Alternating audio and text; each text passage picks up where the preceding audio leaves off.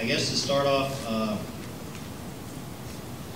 a lot of water bodies, take Tampa Bay, for example, uh, has come a long ways. And that's because work started on certain water bodies in the state back in the 80s. There was a swim program. Tampa Bay was identified, for example, as one of the areas to be targeted.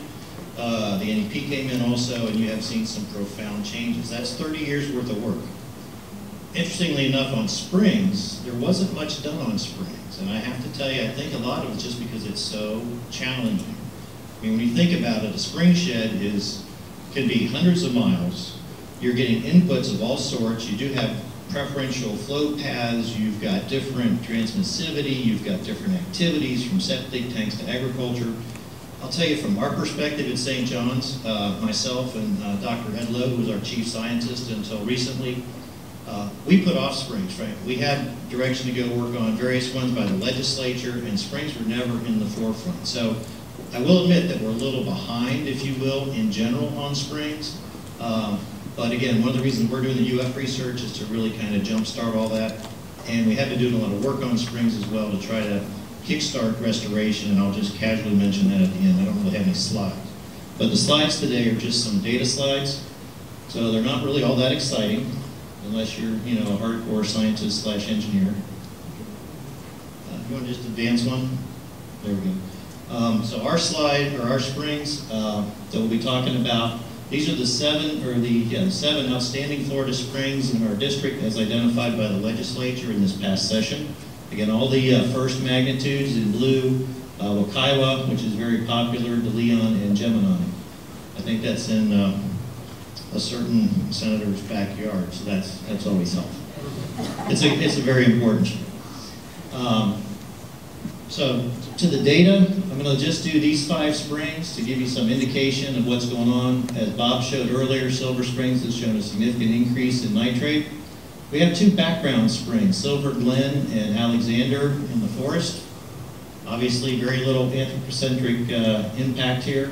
So these are kind of like our baseline springs. Blue Spring has had, a, had an increase over time.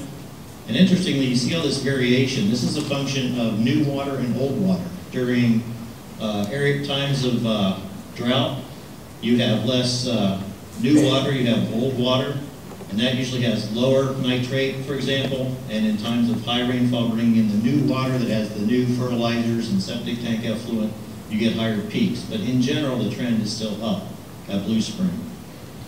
Wekiwa is a little different. We've had a good trend downward, and part of that is a, uh, as far as we can tell, a changeover from a lot of the citrus industry in that spring shed, as well as St. John's bought the uh, north shore of uh, Lake Apopka, the muck farms there. There was a tremendous amount of uh, nitrogen uh, and other uh, phosphorus fertilizer placed onto those crops.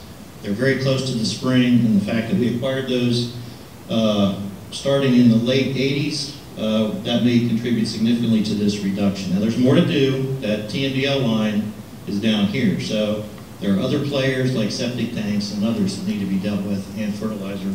But uh, we have made some headway at least uh, on uh, uh, specific inductance isn't really uh, really all that whoops all that exciting, but uh, just, uh, just to give you another flavor as to why this stuff is so complicated, uh, you've got some very low level uh, of uh, salt in some of these. Some of these are much higher uh, levels of salt.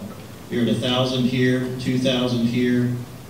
And believe it or not, this is because they happen to have more, they're closer to the old bed of what used to be the St. Johns River Lagoon back in the day. And there's more salt water underneath that freshwater wedge. So again, we have less rainfall, you end up getting more salt coming out because you're getting cold water coming out.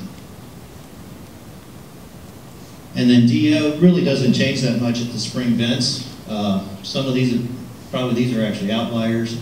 Um, not really too much we've done on DO, uh, but again, it tends to fluctuate, fluctuate a little bit also, more with rainfall than anything else. So that's all I really had to say uh, relative to the data. I'm down to one minute. So the only thing I'd also mention, as most of my colleagues have, is At our district, since about 2013, we have invested in about 72 different projects, be they with local governments or utilities or agriculture, to uh, deal with primarily water quality issues. I showed you earlier today about Blue Spring was a water quantity issue, so some of that investment went there. We've done a lot, however, to help upgrade wastewater plants, expand capacity of wastewater uh, plants.